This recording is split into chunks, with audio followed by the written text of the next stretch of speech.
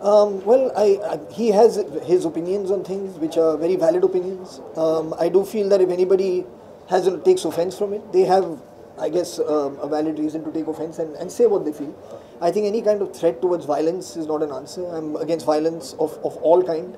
So whether it's somebody threatening somebody in my family or threatening anybody else, I think violence is not the answer and you should stay. Farhan जी सबसे पहले तो congratulation Soni and champion league के साथ में आपकी association हुई जी, है thank आज हमने देखा क्या फील करते हैं आप as an as an actor जब भी किसी के साथ